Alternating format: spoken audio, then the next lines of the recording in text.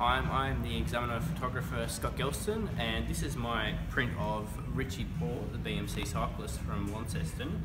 Uh, this print was a finalist in the Tasmanian Portraiture Prize last year